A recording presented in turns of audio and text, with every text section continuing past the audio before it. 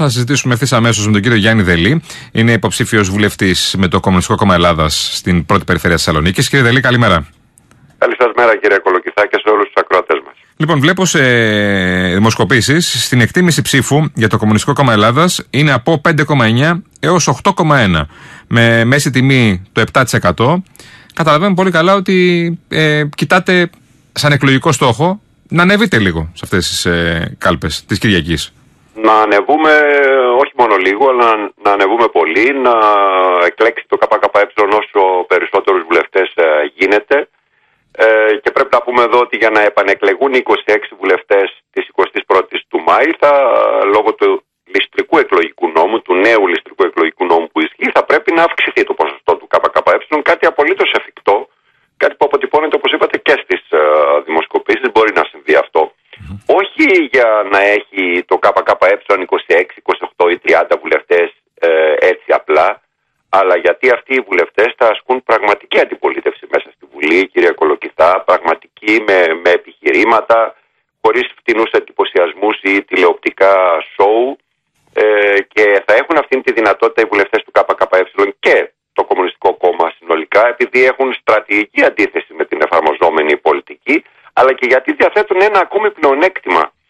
Έχει το ΚΚΕ τη δυνατότητα να μεταφέρει την αντιπολίτευση και έξω από τους τοίχους της Βουλής, στο εργατικό, στο λαϊκό κίνημα, στηρίζοντας τους αγώνες, τις διεκδικήσεις, τα άμεσα προβλήματα που υπάρχουν σε σχέση με τους πληστηριασμούς, για παράδειγμα, ή για την ακρίβεια ή για την ασφάλεια στους χώρους δουλειάς, την ώρα που χάνονται εργαζόμενοι ε, κάθε μέρα σχεδόν. Τα ξεχάσαμε αυτά τα ε, θέματα. Και το, τα βιομηχανικά. Κύριε Δελή, στην ε, προεκλογική ατζέντα τα έχουν ξεχάσει αυτά τα θέματα.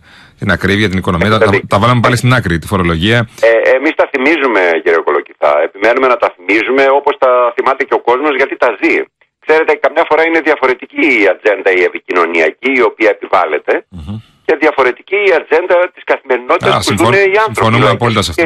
Συμφωνούμε απόλυτα σε αυτό, γιατί και εμείς ε, μπλέκουμε σε αυτό εμείς τα μέσα. Τώρα ασχολούμαστε με, το, με τη Ροδόπη και το Ναυάγιο. Πολύ σημαντικά Χωρίς θέματα. Δεν λέω ότι αυτά που μόλι αναφέρατε δεν είναι πάρα πολύ σημαντικά. Είναι πολύ σημαντικά και πολύ σοβαρά θέματα και πρέπει πάντα να εξετάζονται οι χειρισμοί, αλλά ξεχνάμε τα υπόλοιπα θέματα. Τώρα έχεις ξεσπάσει μια κόντρα για τη Ροδόπη. Δεν ξέρω, εσείς στο ναι. Κομμουνιστικό Κόμμα Ελλάδας συμφωνείτε να κάνουν δήλωση οι δύο υποψήφοι του ΣΥΡΙΖΑ να κάνουν δήλωση. Εμείς είπαμε, ναι. κύριε Κολοκυθά, ναι. εμείς έχουμε πει από την πρώτη στιγμή ότι είναι απαράδεκτη αυτή η εργαλειοποίηση του θέματος της μουσουλμανικής μειονότητας και από τα δύο κόμματα αλλά και από το ΠΑΣΟΚ. Αλληλοκατηγορεί ο ένας τον άλλον την ώρα που ε, το τουρκικό προξενείο είναι κοινό μυστικό ότι δεν είναι η πρώτη φορά που παρεμβαίνει. Χρόνια γίνεται αυτό, δεκαετίες και μάλιστα σε όλες τις εκλογές και τις εθνικές αλλά και τις τοπικές και τις ε, περιφερειακές. Και γιατί το θυμηθήκαμε τώρα, κύριε Δελή. Το θυμηθήκαμε τώρα προκειμένου να υψωθούν οι τόνοι και να δημιουργήσουμε, αν θέλετε, και ένα αποπροσανατολιστικό θέμα συζήτησης. Σε ένα βαθμό αξιοποιείται και ως τέτοιο από τα προβλήματα τα πραγματικά που απασχολούν τον κόσμο. Όμως τα πράγματα είναι εξαιρετικά σοβαρά και, πολύ, και γίνονται πολύ επικίνδυνα όταν κανείς ασχολείται με τέτοια θέματα, ε, με, τέτοια, με, με, με, μια τέτοια ανευθυνότητα, ας μου επιτραπεί. Είναι πολύ σοβαρά γιατί αυτή την περίοδο, κύριε Κολοκυθά, προετοιμάζονται και μια σειρά από διευθετήσει στι ελληνοτουρκικές σχέσεις. Τα γνωρίζουμε, τα παρακολουθούμε, τα διαβάζουμε. Ε, διευθετήσει οι οποίες έχουν την άμεση, την, τη σφραγίδα των Αμερικανών, των Ναυτοϊκών. Ναι, ε, εννοώ διευθετήσεις όχι μονάχα σε σχέση με τη μετατροπή της Τράκης και ειδικά της Αλεξανδρούπολης σε ένα πολεμικό ορμητήριο με ό,τι αυτό σημαίνει για την περιοχή και τους ε, κατοίκους της αλλά και σε σχέση με τα κυριαρχικά δικαιώματα της χώρας, με το συνολικό πακέτο λύσης που προετοιμάζεται στα νο... στην νότιο-ανατολική Μεσόγειο. Ξέρετε όμως κύριε Κολοκυθά, αυτό που μας απασχολεί εμάς και θα το βάλουμε και πάλι στη συζήτηση είναι ότι από αυτή τη συζήτηση απουσιάζουν τα πραγματικά προβλήματα της μειονότητας mm-hmm. όπως απουσιάζουν τα πραγματικά προβλήματα και της πλειονότητας στην ίδια, στην ίδια περιοχή και είναι πάρα πολύ σοβαρά.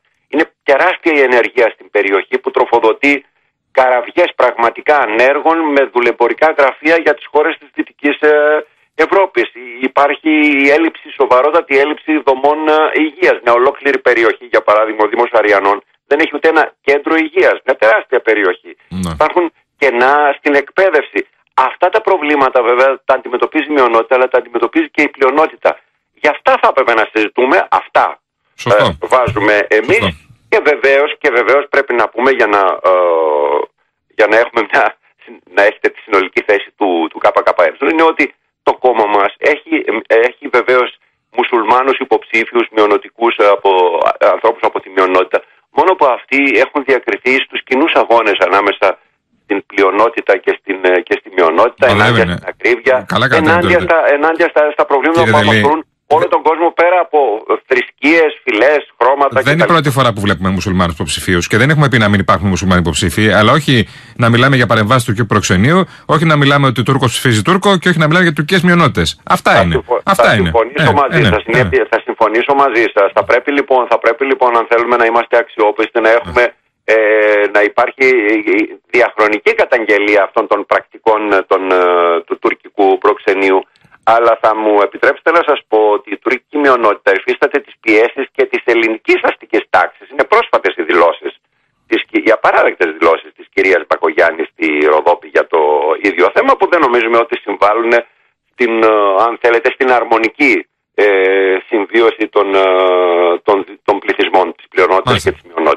Ερώτηση άλλη για να κλείσουμε με αυτό. Πάμε και στο θέμα του ναυαγίου, γιατί και αυτό έχει μπει στην πολιτική αντιπαράθεση. Εσείς, ε, κύριε Δελή, ε, και ως Κομμουνιστικό Κόμμα, θεωρείτε ότι έχει ευθύνες η Ελλάδα για το ναυάγιο; Ήταν λάθος χειρισμή του λιμενικού, λάθος εντολές, λάθος χειρισμός γενικώς του προσφυγικού; Ξέρετε, πέρα κύριε Κολοκυθά, πέρα από τις ε, αυλεψίες, πέρα από τις επιχειρησιακές ευθύνες ή τις παραλήψεις του, του, του λιμενικού σώματος, εμείς ε, θέλουμε να δείχνουμε τη ρίζα του προβλήματος, τη μεγάλη εικόνα, τις μεγάλες αιτίε. Γιατί υπάρχουν οι πρόσφυγες και οι μετανάστες, ποιος τους γεννά, τι σχέση έχουν με τη φτώχεια, τους υπεριαλιστικούς πολέμους, τι σχέση έχουν με την αντιμεταναστευτική πολιτική της Ευρωπαϊκής Ένωσης, η οποία αφού πρώτα ληστεύει αυτές τις χώρες, ή πυροδοτεί πολέμους ή εμφύλιες σειράξεις. Είναι γνωστές οι επεμβάσεις της Ευρωπαϊκής Ένωσης και στην υποσαχάρια Αφρική.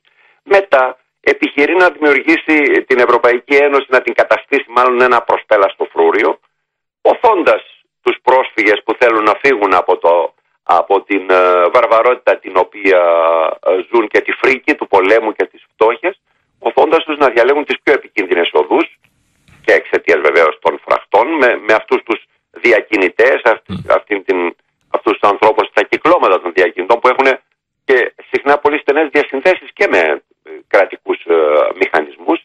Πέφτουν στα θύματα αυτών των κυκλωμάτων με τα γνωστά τραγικά αποτελέσματα όπω είχαμε και στην Πύλο.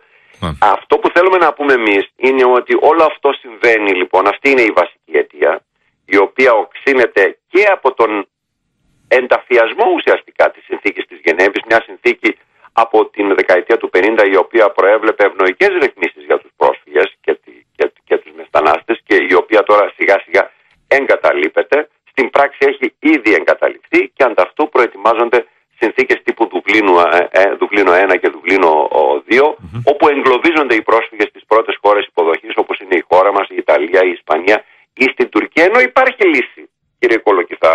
Θα λέγαμε ότι πέρα από το να σταματήσει αυτό που λέμε το ξύλωμα της συνθήκης της της ε, Γενέβης για τους πρόσφυγες, ναι. μια κατάκτηση, ας μου επιτραπεί, του ανθρώπινου πολιτισμού στον 20ο αιώνα, θα πρέπει να καταργηθεί και όλο αυτό το, το πλαίσιο της καταστολής και του εγκλωβισμού και κυρίως θα πρέπει για την άμεση αντιμετώπιση του ζητήματος να δημιουργηθούν επιτροπές ασύλου μέσα στην Τουρκία.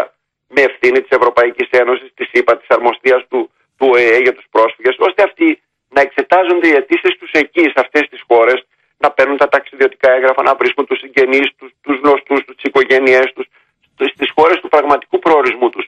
Και όχι να γίνεται, και όχι να γίνεται αυτό το εμπόριο ψυχών ή ο εγκλωβισμός αυτών των ανθρώπων, είτε στη Μόρια παλιότερα επί ΣΥΡΙΖΑ, είτε σε αυτές τις υπερδομές φυλακές της Νέας Δημοκρατίας. Να είστε καλά. Κύριε Δέλη, ο κ. Γιάννης Ελή, υποψήφιος βουλευτής ε, με το Κομμουνιστικό Κόμμα Ελλάδας στην πρώτη περιφέρεια Θεσσαλονίκης.